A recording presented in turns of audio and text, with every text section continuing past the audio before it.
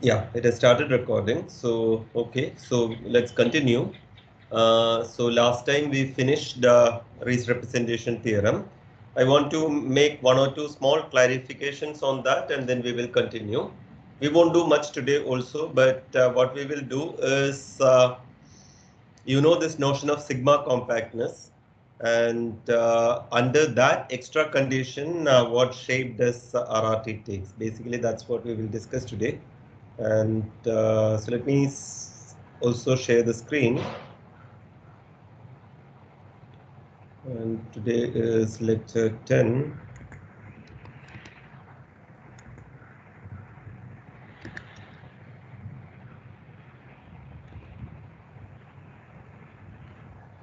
Okay, as usual, one of you can confirm that you can see the slides.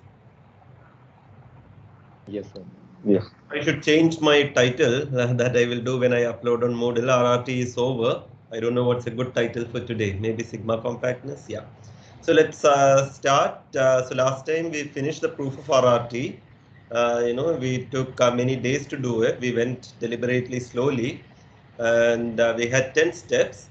And about the last step, I want to make two remarks. Okay. The first remark is, you remember this?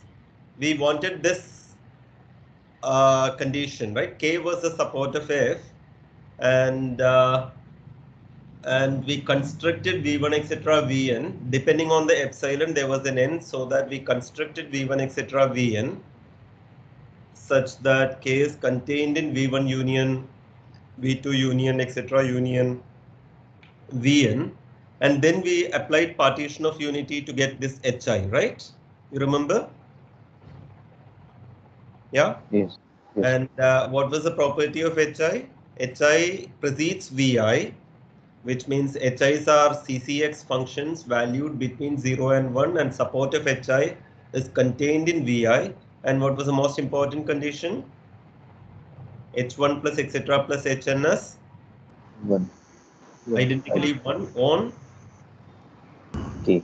On K right? And then we wanted to conclude that uh, mu k is less than or equal to this summation lambda hi. And uh, what did we do in order to do this? In order to get this? So basically we went back to step two, right? Yes, sir. And I redid uh, a proof there, right? So we had in step two, uh, we knew that mu k is same as uh, same as infimum of lambda f, k precedes f. And then I said uh, you don't need k precedes f, f positive and f is identically 1 on k is enough for one inequality, mu k is less than or equal to lambda f. Right, this is what we did. You remember? Yes? Yes, sir. Yes. Okay, so this is what we did, but uh, we don't. So what is the difference between uh, F positive and F identically 1 on K versus K precedes F? What is the difference? K precedes F also had F identically 1 on K and F is in CCX and the condition F is in between 0 and 1. between 0 and 1. So here we are only using F as positive, bigger than Yes. 0, not less than 1. And we read it, everything is fine. So this is all fine, but we do have K precedes summation HI, which I did not notice uh, at first. We do have this, so we could have applied step 2 directly without redoing that. Do you agree that uh, this we have? So H1 plus etc. plus HNS identically 1 on K, not a problem. Yeah. And uh, and uh, uh, all these are uh, HIs are in between 0 and 1. But my only worry was summation HI may be bigger than 1, right? Yes, sir. But uh, that also is not true. Summation HI is also between 0 and 1. Do you see that? So what I will do is VI are distinct, disjoint. VI are Disjoint. VIs are disjoint. No, VIs may not be disjoint. EIs are. EIs are disjoint, yes. But HIs are supported in VI.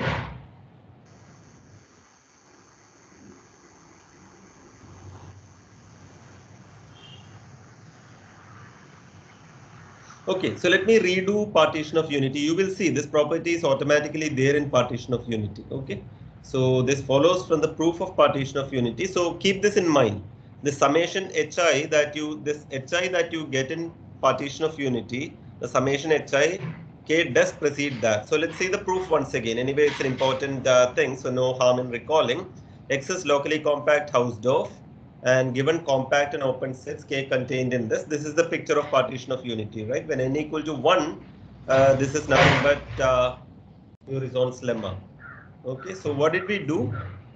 Uh, the claim is that there exists hi preceding vi such that this is 1 on k but i instead of this i could have actually said k precedes summation hi. Okay k precedes summation hi. This is called a partition of unity on k subordinate to the cover v1 etc vn. Uh, so this is the proof. This is exactly what we did last time. So x and k. So x is in vi for some i, and we apply. What is this earlier observation? You remember? Whenever you have a compact set contained in an open set. So we will have an open set whose closure is compact. Compact which can be put in inside. between. Yes, in between. So you can apply that and you get Wx and Wx bar. Wx bar is compact and uh, by compactness of K, so K is covered by union Wx and by compactness you can extract n elements like this. And then what was the step?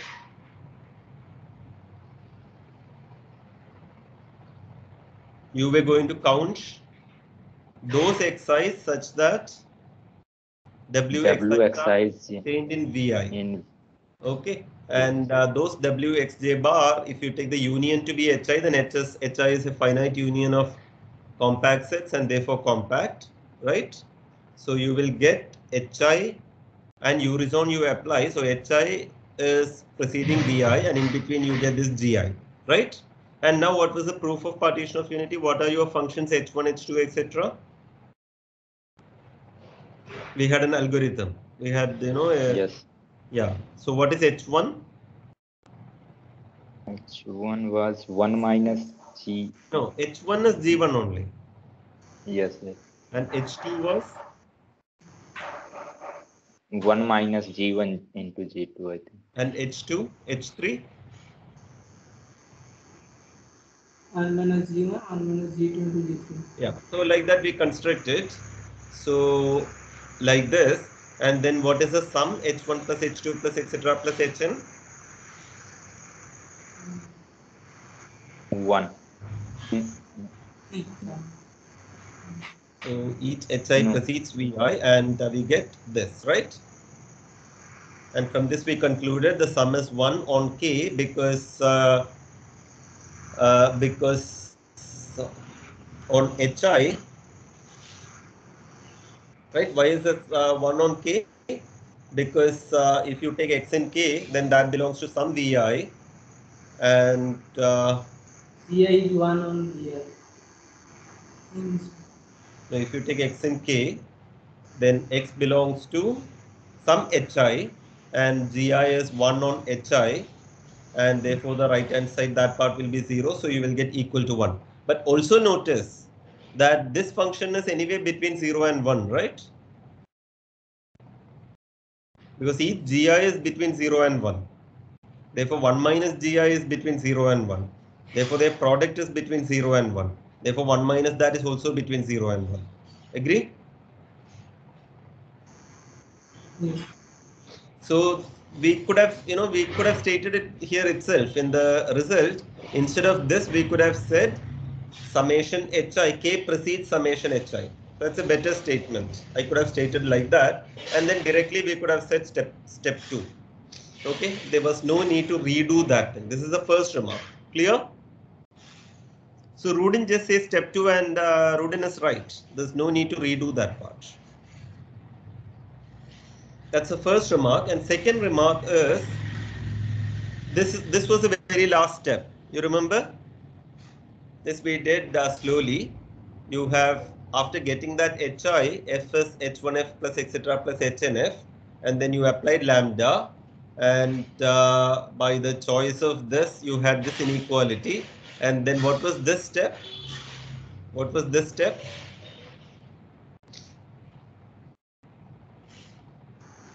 You add and subtract the last term. added and subtracted. So it's an actually an here, added and subtracted mod a sub lambda hi, and then we continued and we got this. Okay, my question to you is, suppose we don't add and subtract here.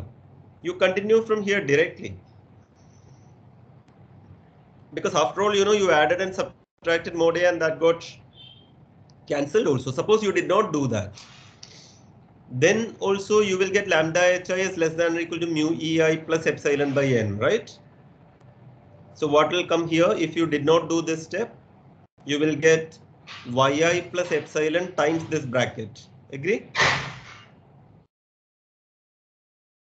Yeah, yi plus epsilon times whatever is there in this bracket. You agree? Yes. And uh, that yi plus epsilon I am writing as yi minus epsilon plus 2 epsilon. So 2 epsilon mu k will come and epsilon by n times what will happen here? Just yi plus epsilon, right? Yes. And this part will become integral f d mu and what will you get here? Epsilon times in bracket you will get 2 mu k plus b plus epsilon. There is no mod a. Yeah. Yes. Is that correct? Okay, if that is true, then also we have finished the proof, no? Integral f d mu plus epsilon times an absolute constant. So why did we do this? Why did we add and subtract? Why is Rudin doing this? Can you tell me? Why is this step necessary? So question is what happens if you don't do this? Is the question clear? in this step, why did we do this and then do this inequalities? Why didn't we do this directly? So directly, if you do, you have yi plus epsilon times this. This is not there. This is not there. And that you can write, like that. This mod a is not there. This mod a is not there. How does it matter? Because epsilon is arbitrarily small. Those constants are irrelevant. Have you thought about this?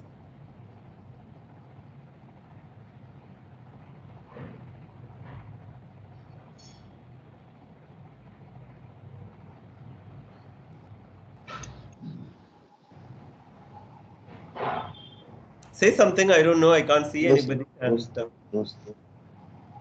So let me come to the, yeah. So uh, yeah, all of you are there. So any comment on that? Do we need to do that or can we skip that step? What do you think? I think there is no think it is problem nothing. Nothing is affected.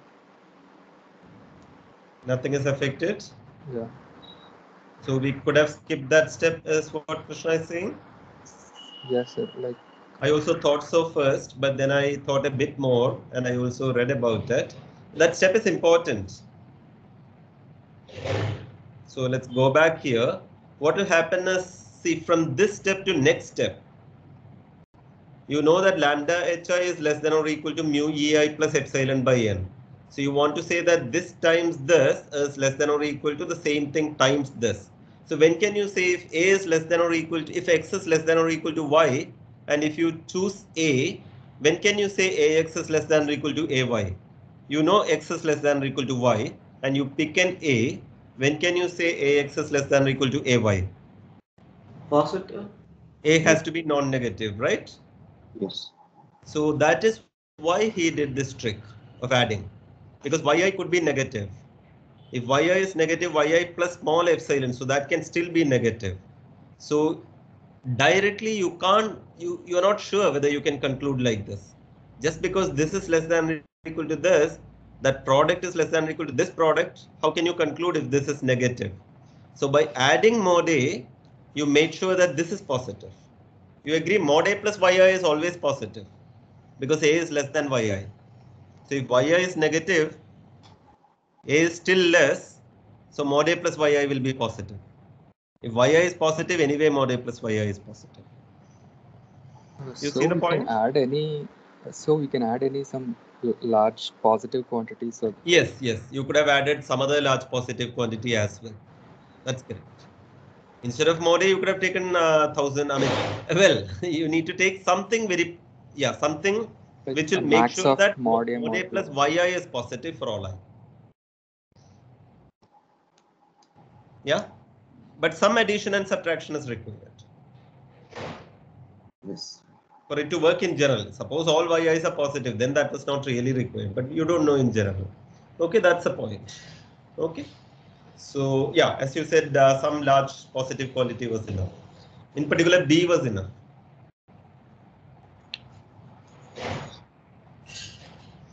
Okay, so uh, let's continue. Uh, all of you know these two uh, words, sigma compact and sigma finite. Yes. Yes, sir. What is sigma compact? A set which is union of countable union of compact sets. Yes, and sigma sigma. finite. And uh, sigma finite. set that has major finite. Yes. Yeah, sigma finite measures what I mean.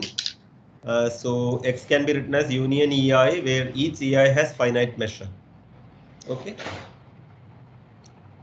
You already have a sigma algebra and a measure and all that with respect to that measure. So the set is of sigma finite measure.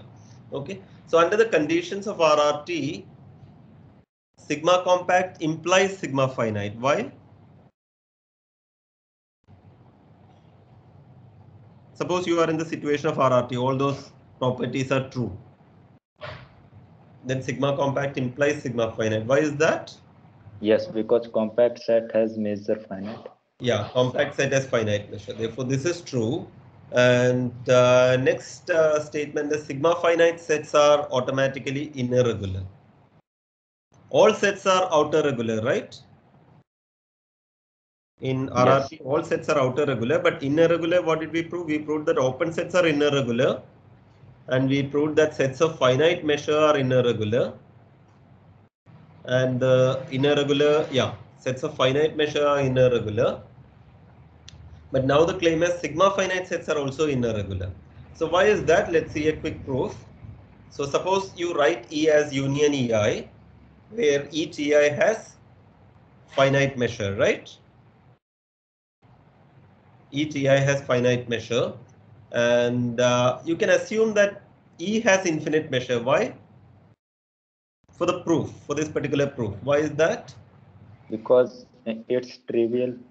E will be Because if E has finite measure, anyway we know in RRT it's inner regular. Sets of finite measure are inner regular something that we have already proved, right? No? Yes, sir. Yes. Sets of... No, did we prove that? Yes, we proved that, yes. right? op- open sets and um, sets of finite measure are inner. Yeah, open sets and sets of. So open sets are inner regular was step three. When did we prove sets of finite measure are inner regular? Which step? Step 8, I think. Hmm? Say it again. Because when you defined MF, it had two conditions. One is inner regularity and one is it has finite measure. So at that step, you are not proving anything. So when did when exactly did we prove that sets of finite measure are inner regular? Because MF is defined as a sets, measurable sets which is uh, finite measure. Yes. So that doesn't mean they are inner regular. So when did we prove sets of finite measure? It's part of it's it's part of part three in uh, RRT. But when did we prove it?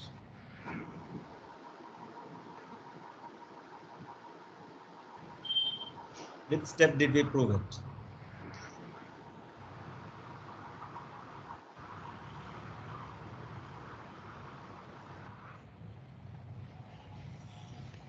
Yeah. We had a characterization of MF, no? Yes, I think eighth is It is exactly, precisely those sets in M which are of finite measure. So in that step we proved this, right?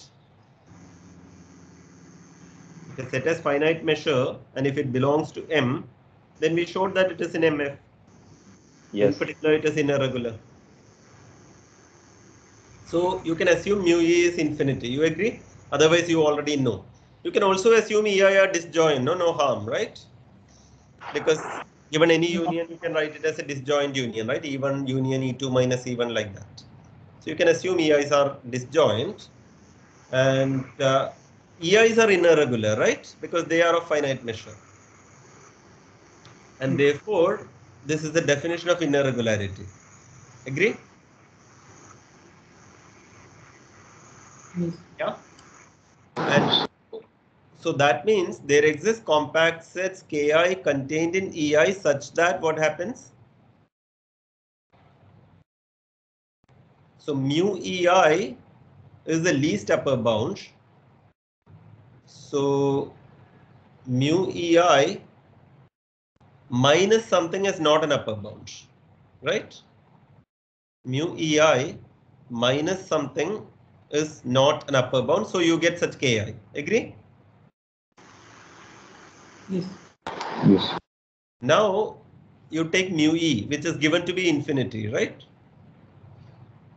And what is mu E? At this step, you don't need disjoint union. You could have continued with less than or equal to, but you know it's an equality because it's disjoint union. But suppose you did not have disjointness, no problem, right? Mu E less than or equal to summation mu EI. And what is summation mu EI?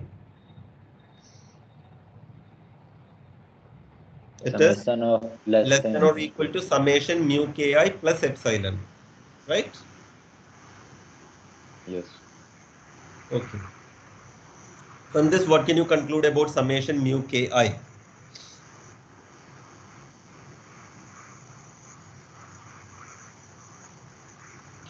Here we need is disjoint. Infinite. Summation mu ki is infinite. Yes. Yeah. I'm also going to use disjointness because if you take k1 union k2 etc then mu of that is summation mu ki and using disjointness as n goes to infinity mu of union ki goes to mu e. Agree? Because mu e is infinity and the left hand side also goes to infinity. Yes. in the limit. Yeah? But inside that bracket everything is at every step it's a finite union no? N may get bigger and bigger but still finite union. And finite union of compact sets is compact. So you are uh, so this shows e is irregular right? E is approximated by union ki finite unions and you make the union bigger and bigger.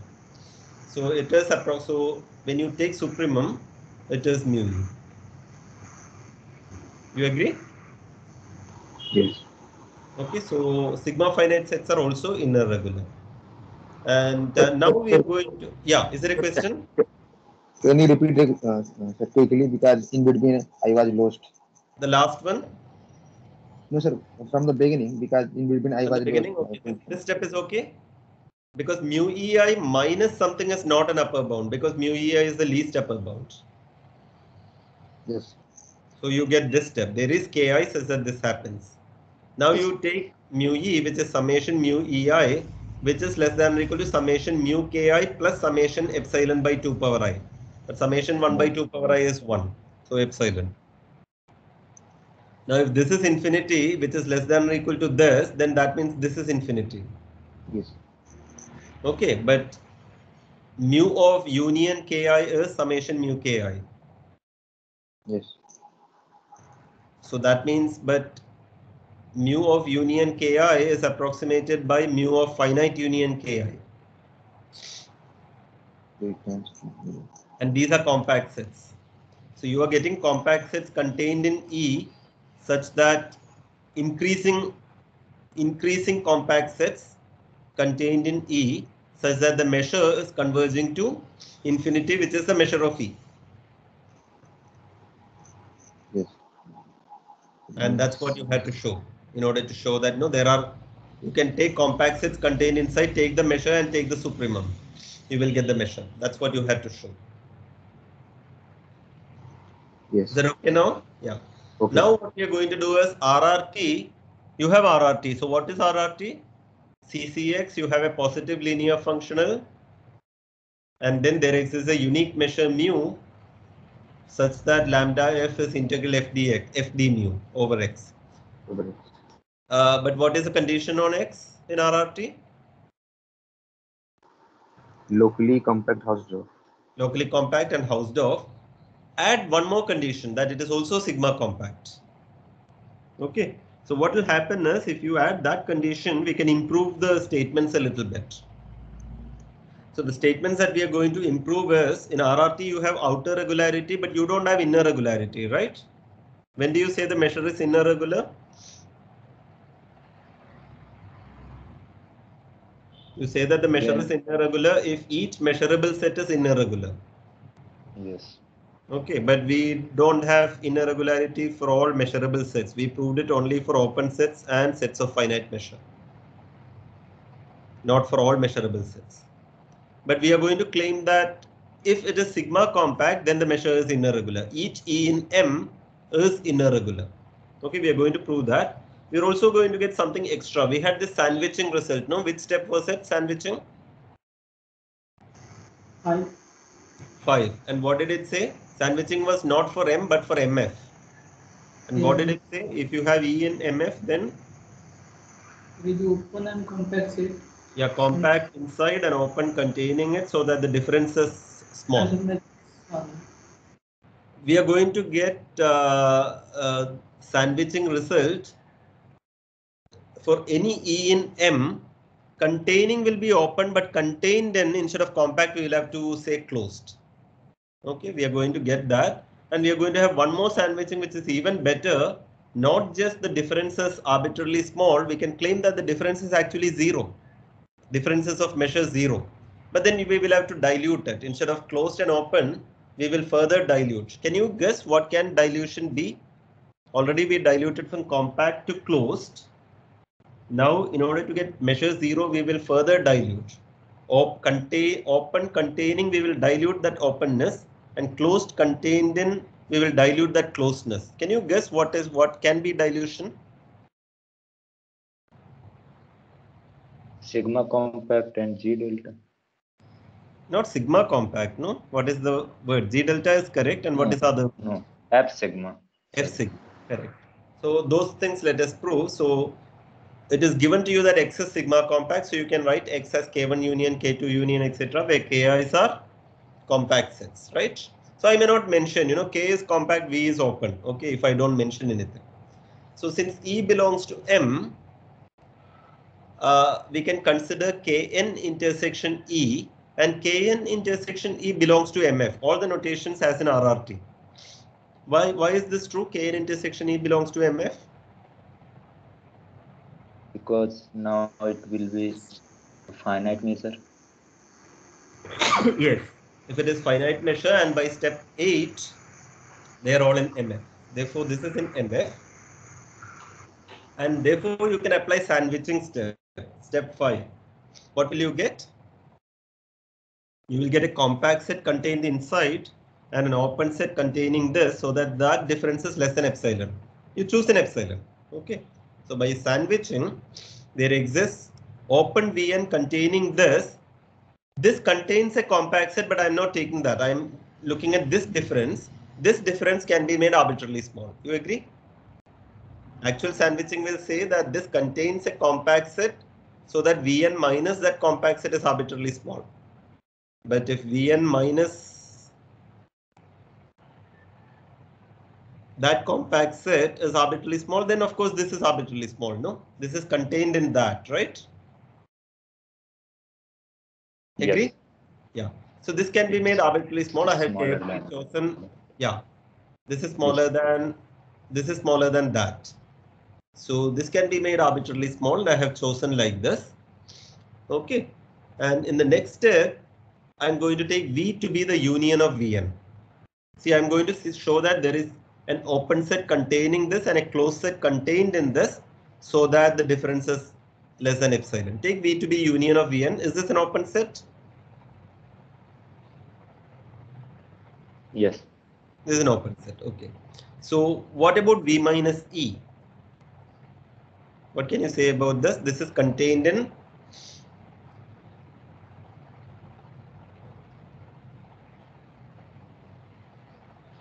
I want to say that the measure of uh, V minus E is small, but do you agree that uh, V minus E is contained in Vn minus Kn intersection E? Union of that? If you take something in V that belongs to some Vn, right? And if it is outside E,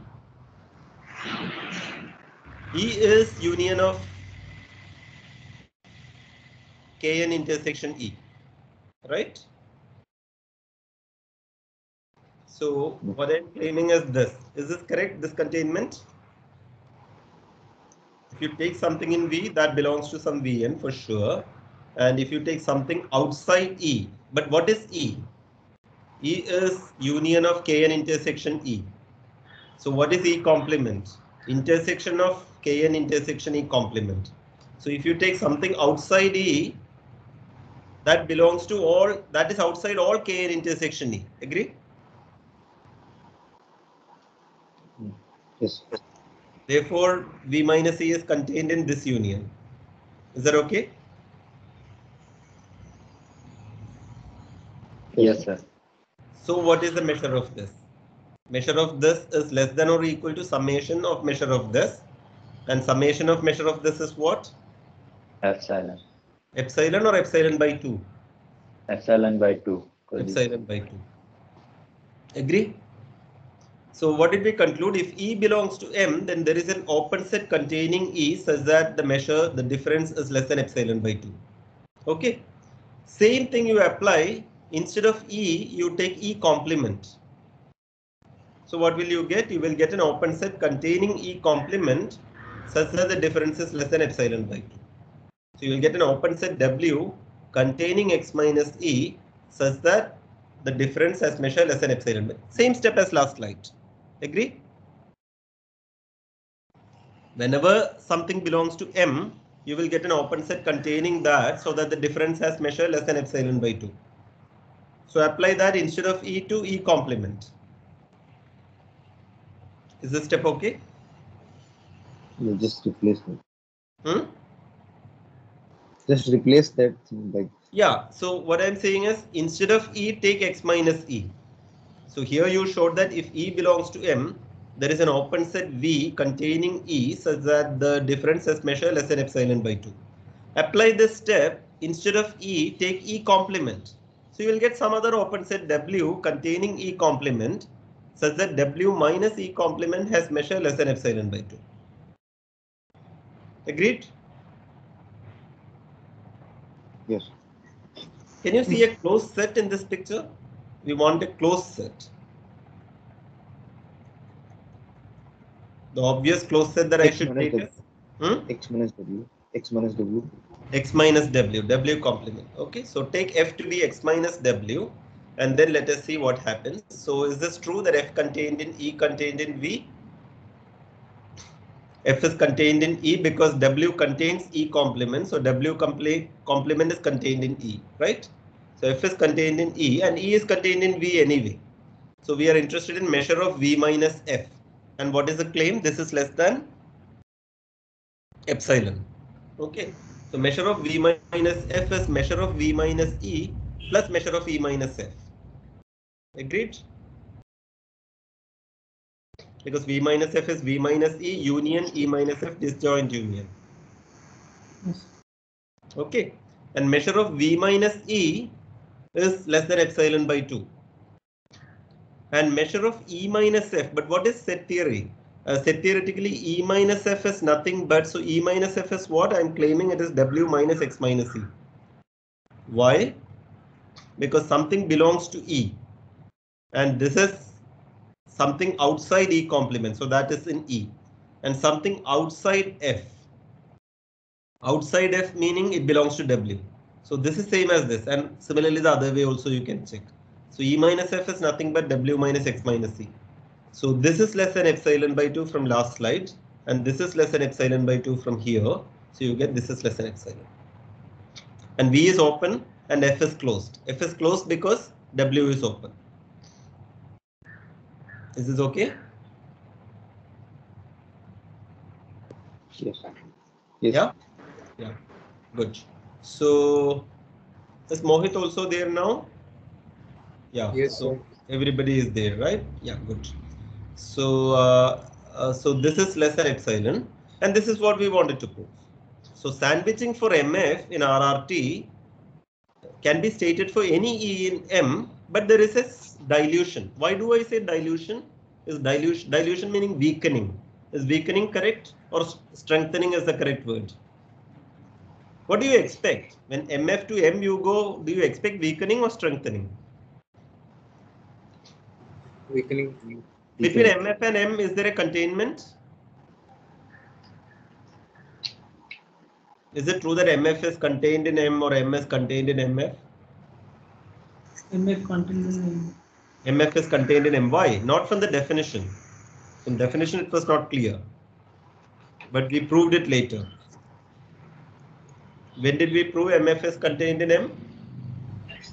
By characterization. By the characterization. We showed that MF contains precise, MF is precisely those sets in M of finite measure. Okay, so MF is contained in M. So if some property is true for MF, if you're going to prove it for M, then that looks like strengthening, right? You are going to assert something for a bigger set, but then there will be a trade-off. So if there is strengthening in one assertion, the trade-off typically will be weakening in the other assertion. So from compact, you are going to closed. Is that weakening? Compact to closed? Yes. Yes, because compact sets are automatically closed. So you can control, okay, compact to closed is weakening in the sense you are getting that subset to be only closed. You can't assert it as compact. Earlier when you asserted it's compact, it's automatically closed. Right now your assertion is only closed. So in that sense it's weakening. So can be stated for any E in M, but in terms of closed and open sets under sigma compactness. Okay, you need sigma compactness, then you can do this. Now what is my next uh, goal? Next goal is to show that you can strengthen the assertion. Not the difference being arbitrarily small to what, what is strengthening. From arbitrarily small, what is possible strengthening? What is better than arbitrarily small?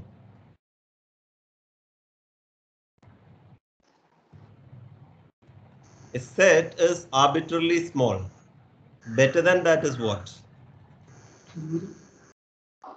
I mean, measures are arbit- arbitrarily small. I mean, measures less than measures arbitrarily small. So what is better than that? Zero. Measure zero. Yeah, Measure zero. Measure zero. Okay. So we are going to say that uh, uh, you can take a set containing and a set contained in so that the differences of measure zero, but then there will be a trade-off between closed and open. I will go to weakening. I will weaken that. And what what, what are the weakened terms now? Closed will become F sigma. F sigma and open will become G delta. G delta. Can you guess the proof? Proof is here. You're going to do under sigma compactness. So, so you can assume this result. Closed contained in your set contained in open and the difference is less than epsilon. That you can use. So what will you do?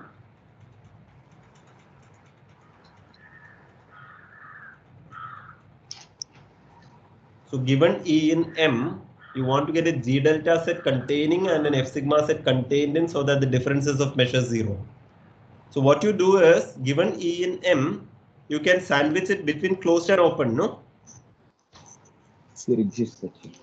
Yeah. So you sandwich it between closed and open so that the difference is less than 1 by n. So E contains Fn, Fn is closed and E is contained in Vn such that Vn minus Fn has measure less than 1 by n. Now what, what is the obvious uh, G delta and uh, F sigma sets? What is your F Union sigma? Union and intersection. Yeah, union sigma is union Fn and G delta is intersection of Vn. So if you take A to be union of Fn and B to be intersection of Vn and A is F sigma, B is G delta and B minus A is contained in Vn minus Fn for all n, right? If something belongs to B, then it belongs to each Vn because it's intersection.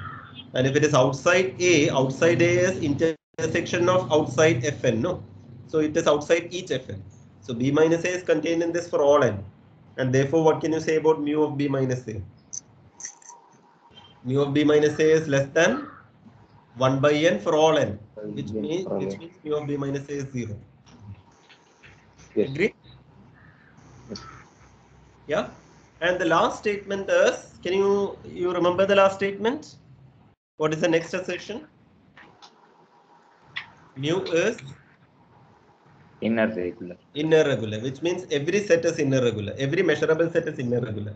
So we are going to show that if E belongs to M and epsilon positive, what do we have to show in order to show E is inner regular? Given epsilon positive, what do you have to show? You have to show there is a compact set contained in E such that mu E minus epsilon, right? Mu E will be the supremum, least upper bound. Mu E minus something is not an upper bound, which means there exists a compact set such that mu E minus E is less than mu of K. You have to show that such a compact set exists, right? Yeah. So what you know is there exists closed F contained in E such that mu of E minus F is less than epsilon. Why is this true?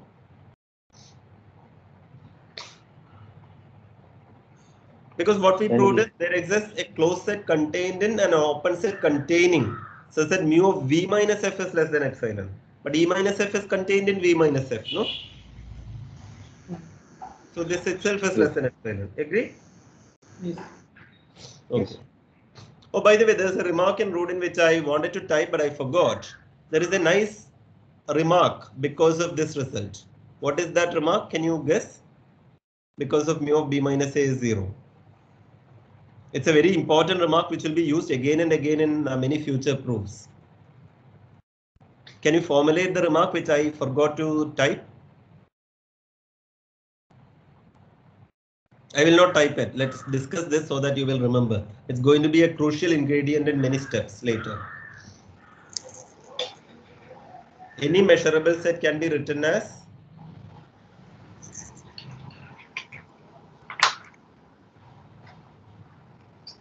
right here you have E and you are saying that E can be sandwiched between right E is between A and B no a is contained in E is contained in B. You agree? And measure of B Yes. minus A is 0. So E can be written as Fn union E minus Fn, right? No, E can be written as A union E minus A. Agree? That's a theory, no? E equal to A union E minus A. Yes. And A is what kind of a set? A is an F sigma set. And uh, what is the measure of E minus A? Zero. Zero, because E minus A is contained in B minus A. Right? E minus A is contained in B minus A, so measure of E minus A is zero. So what is the conclusion? Any measurable set can be written as a union of an F sigma set and a set of measure zero. So this will be very, very useful in when we do many integral steps. Integration doesn't see measure zero sets, right? So when you are integrating on any measurable set, without loss of generality, you can assume that that set is F sigma. Because of this remark. Agree? So any, measurable set as F sigma union set of measure zero and set of measure zero can be ignored as far as integration is concerned. Okay, so this is going to be an important point. I will not type it, but remember, okay? And uh, now we are going to show it as uh, inner regular. So you know that there is an F contained in E such that mu of E minus F is less than epsilon. And F is same as union Kn intersection F. What is this Kn?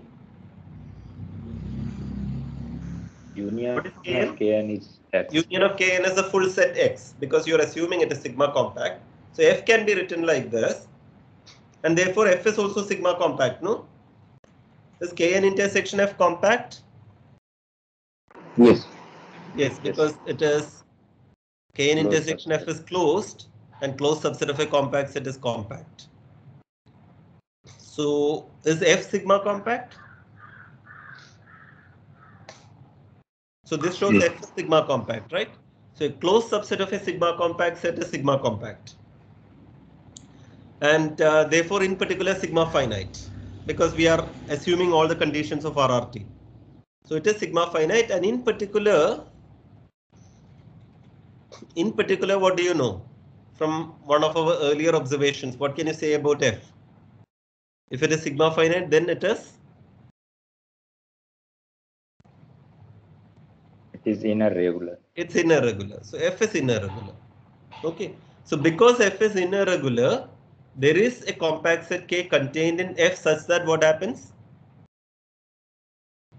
Depending on that epsilon. So F is inner regular. So mu of F is the supremum. So mu of Yes. F minus something Minus is, less than less than than K. Agree? Yes. Now, what do you have to show? You have to show that E is inner regular. So what will you do?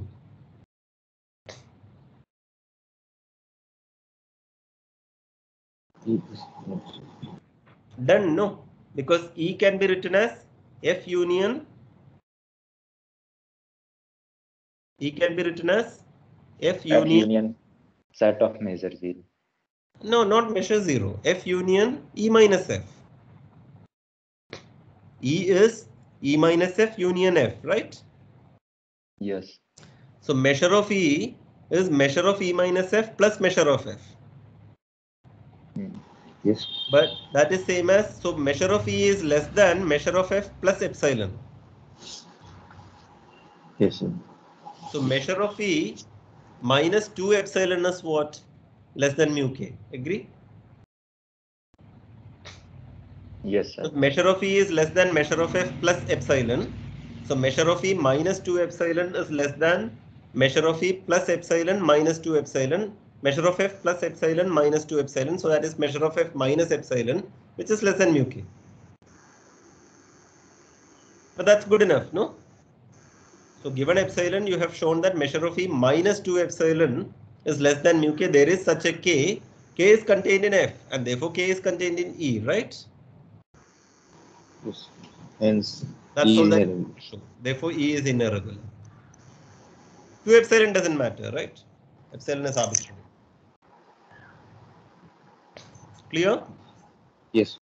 So this shows E is inner regular. We will do one more nice statement. So mu is a regular measure. So what you are getting is in RRT, you are not concluding that the measure is regular, but if you are if you are set a sigma compact, then the measure is regular. Okay. This reminds me uh, at some point I put something from math stack exchange, right? One long answer. What was it about? This was a question of Krishna. Yes, uniqueness Whether of there uh, exists a me- another M itself is unique or not. So in that in that answer, it also says you can prove uniqueness of the sigma algebra if X is sigma compact. Okay, so sigma compactness is a nice property under which RRT can be strengthened a lot. Okay, so in particular regular measure. Fine. Let's state one more regularity theorem. Okay, this is not under the assumptions of RRT. It's an independent theorem. Okay, that's why I'm calling it another regularity theorem. So what is given to you is X is locally compact Hausdorff. And what is given to you is not just X is sigma compact, something more. What is given to you is all the open sets are sigma compact. So that's a that's a strong condition, right? But this will be useful for us because the natural spaces that we are going to consider have this property. What are the most natural spaces in analysis? Topological. Yeah, yeah, but which topological space are you more interested when you are doing PDE or whatever real analysis? set of all real numbers, Yeah, real numbers or a bit more generally? complex numbers. Not complex, but yeah, okay, complex, but that is, I would say it's R2 or RK, Euclidean spaces. Okay, or yeah, CK, complex Euclidean space also. All those have this property, right? Each open set is sigma compact in R, no? Or in Rn. Is that correct? Okay, verify that. Each open set can be written as a countable union of compact sets. So suppose your topological space has that property that each open set is sigma compact. And what is this lambda? From this notation, can you make the English sentence? Lambda is a measure, measure, rural what measure. measure. What kind of measure? Positive. Positive measure, and I will add one more word because my notation is not M but B. So rural. positive. On Borel sigma algebra. Yeah. So what what is that measure called? If the measure is defined on the Borel sigma algebra, the measure is called Vivek No, no, no. Borel measure. Borel measure. Lebesgue measure is for Euclidean spaces. This is general. Okay, it's called a Borel measure. A measure defined on the Borel sigma algebra is called a Borel measure.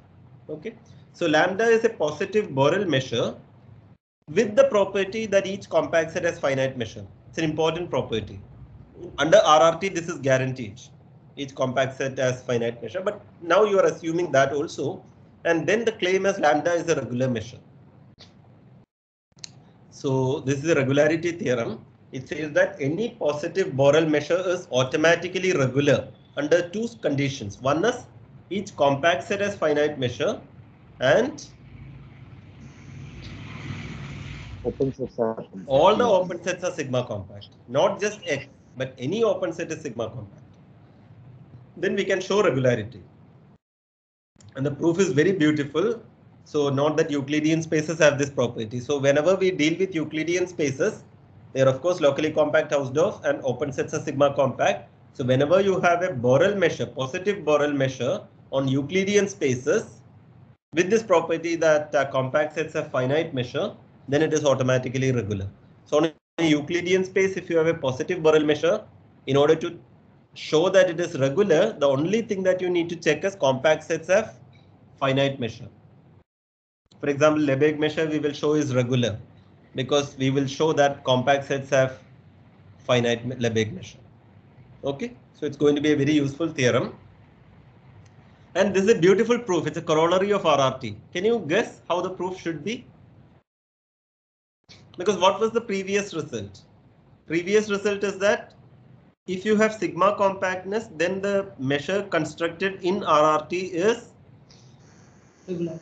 regular. So you can use that idea here. So here, how will you show it is regular?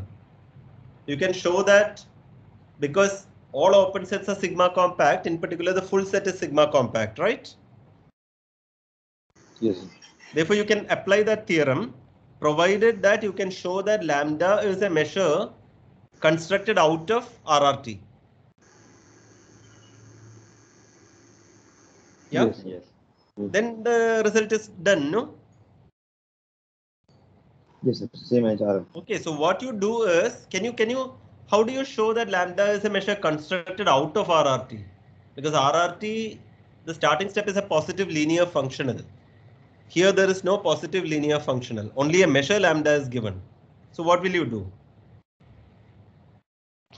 You construct a positive linear functional using lambda.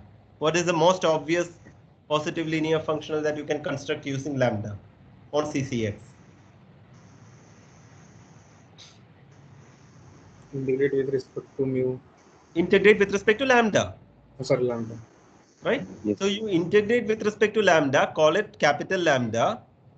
And uh, this condition that lambda of k is finite will show that it is actually a linear functional valued in C. The value will be finite because on compact sets it has finite measure. And it is positive anyway, no? Integral is a positive functional, no? Any integral with respect to any measure is positive, right? We have shown long back that if f is bigger than g, then integral f is bigger than integral g. yes Okay, so it will be a positive linear. So where are you going to use this step?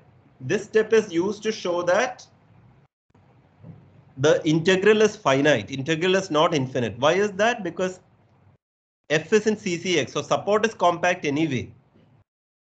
And on a compact set, if the measure is finite, the answer will be finite. No, the integral will be finite, right?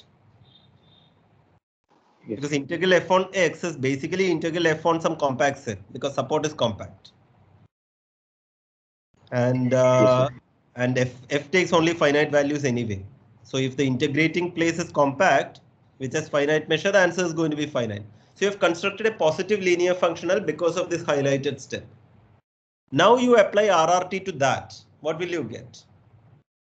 You will get a measure mu such that lambda f is You get a integral f d mu over x for for f in For FMCCL. CCA. CCX. And that mu is that mu regular? Yes. Why? By RRT. yes. by the previous result, sigma compact RRT. Because all open sets are sigma compact, in particular X is sigma compact. And therefore, that mu that we just got out of lambda, right? Lambda you integrate, get a linear functional, apply RRT to that, get a mu. That mu is regular. But what do we have to show? Lambda is regular. Yeah, so can you, if the world was nice, what would be the proof? Suppose everything is nice in the world. What would be the proof? Uh, To show lambda is regular, you have got a mu which is regular. What will what will be your claim? Because mu is unique. Yeah, mu is unique, fine. But you have to show lambda is regular. What you got is mu is regular. So what will you claim? On on Borel sigma algebra, mu is equal to Mu equal to lambda, right? You claim that lambda equal to mu. On the Borel sigma algebra, of course. Yeah? Is that Yes. clear? Yes. So if you show lambda equal to mu, then you have, so it's a beautiful proof, okay? It uses RRT and it is also going to use uh, monotone convergence theorem. So let's see. So lambda f you define like this. It's a linear functional from CCX to C. That is very, very important. It is a proper linear functional. It doesn't take infinity. And this is because on compact sets, the measure is given to be finite. And it's a positive linear functional anyway, because with respect to any positive measure, if you integrate, if f is greater than or equal to g, then integral f is greater than or equal to integral g. That is something that we know, and that's easy, right? Because that's how integral is defined in terms of simple functions. So it's it's it's true. And by RRT, you get a mu which is regular since x itself is sigma compact. And to prove the theorem, we claim that. Once again, repeat what you just said. Claim that lambda equal to Mu. And Mu. mu I don't have to say where is clear on Borel sets because lambda is defined only on Borel sets. Okay, but can you give me the first step? Suppose you have to show that lambda e equal to mu e on all Borel sets e. What could be the first step? Where will you show lambda equal to mu? First. On Finally, open you have to set. show all. Sir, can we apply here that On uh, open sets. It was unique, so we can say lambda equal Say it again. Say that again. Sir, as we know that uh, in RRT mu is unique, Yes. and we are getting lambda uh, lambda f equal to indication f d lambda and indication f uh, d mu. No, there exists some. Sorry, sorry. Sir. No, no, that will not be enough because you know that the uniqueness of mu is lambda f is integral f d mu. That mu is unique. But we are going to show that the measure mu agrees with the measure lambda. Yes. yes. That will not follow from that uniqueness. That we have to show. So we have to show that lambda e equal to mu e whenever e is a Borel set. But what could be the step one? Lambda agrees with mu on which sets? Open sets. open sets. Okay, because Borel sets are the basic ingredient is open sets. So first claim is lambda e equal to mu e. This is what we have to show. First we show this for all open sets. Okay. So next slide is proof of lambda e equal to mu e when e is open. So let v be open and write v as what is the one of the hypothesis given? sigma compact of open. Every open set is sigma compact. So write V as union Ki. Okay. Write V as union Ki and choose Fi such that so Ki is compact and corresponding to Ki you are choosing Fi. So what is this lemma? Do you see compact contained in open here? Urysohn. CI containing B. Urysohn you are applying to each i. What is a compact set and what is the open set? Compact with KI KI and and B. open with B. Compact is Ki and openness B. B. V itself. Okay, I'm going to apply Ki preceding Fi preceding V and this is Urysohn. Okay, now I'm going to take Gn to be maximum of F1 etc. Fn. All these Fi's are CCX and valued between 0 and 1 and uh, it is 1 on Ki and support is inside V, right? If I take maximum of finitely many of those, do you agree that Gn is uh, CCX? Yes, sir. Because outside a compact set f1 is 0 outside another compact set f2 is 0 so outside uh, k1 no so outside k1 union k2 maximum of f1 and f2 is 0 right Yes. yeah so and k1 union k2 is compact so this is also ccx because it's finitely many agree Yes. Yes. GNS and CCX. And therefore, therefore, can you can you can you conclude the next step comparing lambda and mu using GN? What is lambda GN? Capital lambda GN. Integral GN D lambda. d lambda by definition. But by RRT we have got a mu. Therefore, it is also integral GN d mu, no? Yes, sir. Okay, so you have got this because Gn belongs to CCX. Because only on CCX your linear function is defined. You agree? Yes, sir. Yeah. Okay. So you have got this on each of this Gn. And do you agree that Gns are monotone increasing?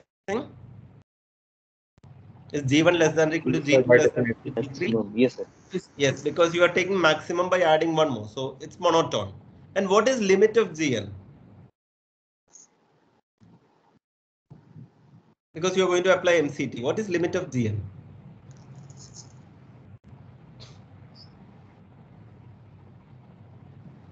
Supremum of Fn. Hmm? So, You're taking maximum of F1, then maximum of F1 and F2, then maximum of F1 and F2 and F3. Lim sup of Fn. Hmm? Lim sup of Fn. Lim sup of Fn. Fy by definition, but what is it? In terms of whatever is there on the slide. See, what is the property of F1? Where is F1 1? On K1, right? Yeah. F2 is 1 on K2. So maximum of F1 and F2 is 1 on K1 union K2, right? yes, sir. Because they are all less than or equal to 1. So 1 is the maximum. So if you take maximum of F1, F2, F3, it is 1 on K1 union K2 union K3, right? Agree? Yes, sir. So what is this limit? Characteristic of V. Characteristic function of V, absolutely. Because Gn is 1 on K1 union up to Kn, then you are adding union Kn plus 1, etc. So all the union will be V. So the limit is chi V. Okay. Now what is what is uh, by MCT? What is lambda of V? Lambda of V is integral chi V d lambda, right? But integral chi v d lambda directly you cannot say is integral chi v d mu. That you can't say. Why? Because chi v is not CCX. So you can't say that directly. but you apply MCT. So lambda of v is integral chi v d lambda, which is integral of limit g and d lambda, which is limit of integral g and d lambda. But integral g and d lambda is integral g and d mu. So it is limit of integral g and d mu, which is integral of limit g and d mu, which is integral chi v d mu, which is mu v. Agree? How many times have you applied MCT in this line? At least two. Twice. Yeah, specifically twice. Once for G and D lambda and one for G and D mu. At least twice is correct because who knows? In many other steps we could have used, but here directly we are using twice. Okay, so on open sets you have proved. Now we have what do we have to do?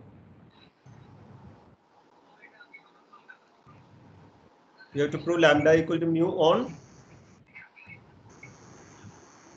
Union and intersection. on One. Mm. Every measurable yeah measurable meaning. What is the word? Borel Borel. measurable. Every Borel set. Okay. So let E in B and X itself is sigma compact and therefore for epsilon positive we get closed and open sets F contained in E contained in V such that mu of V minus F is less than epsilon, right? Because for sigma compact sets we have proved this. Okay. So mu of V is less than or equal to mu of F plus epsilon. Agree? because mu of v is mu of v minus f plus mu of f. So this is true and this is less than mu e plus epsilon because mu f is smaller than mu e. Yeah. Now I'm going to say that lambda of v minus f is equal to mu of v minus f. Why is this true?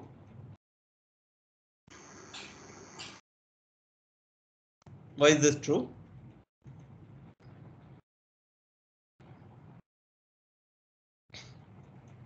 Because they are open sets. They are open sets. V minus f is open, and we already proved that on open sets they agree. And therefore, this is less than epsilon because mu of V minus f is less than epsilon. Okay. Because earlier, this we know because we know that under sigma compactness, the measure that you get from RRT has this property. That's why this is true.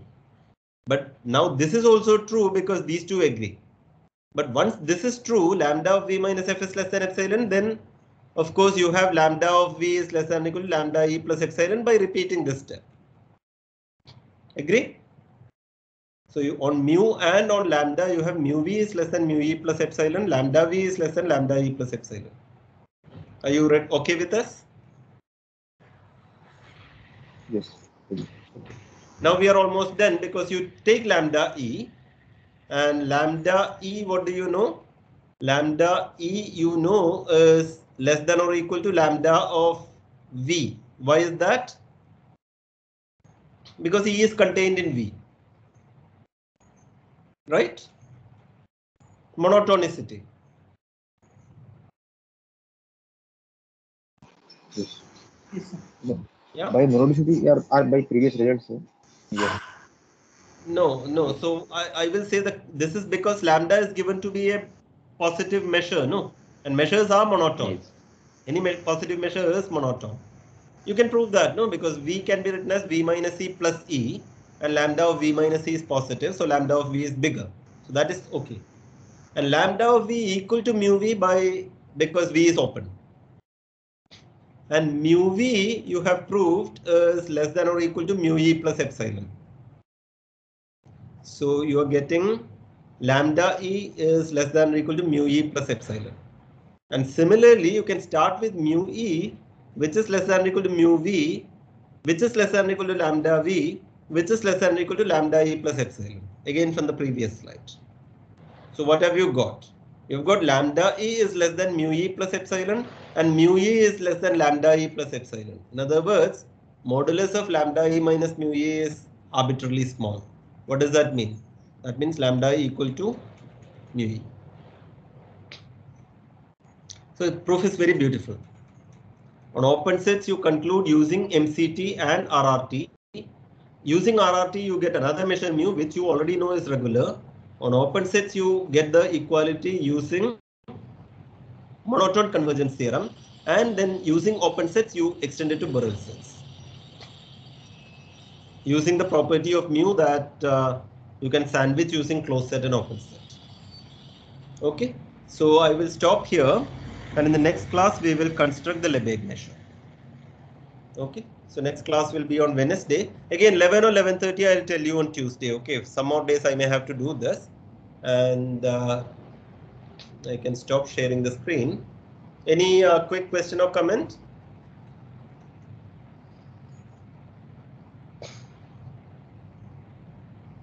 So all these written are in chapter two, Rudin chapter two. No? Say that again, Akshay, I couldn't hear you. All these things are in Rudin chapter two. No? sir? Yeah, yeah, everything is in Rudin Oh. chapter. I'm following Rudin line by line. Whenever I go outside Rudin, like if I do Haar measure, I will go outside Rudin because Rudin doesn't cover Haar measure. Then I will give you reference.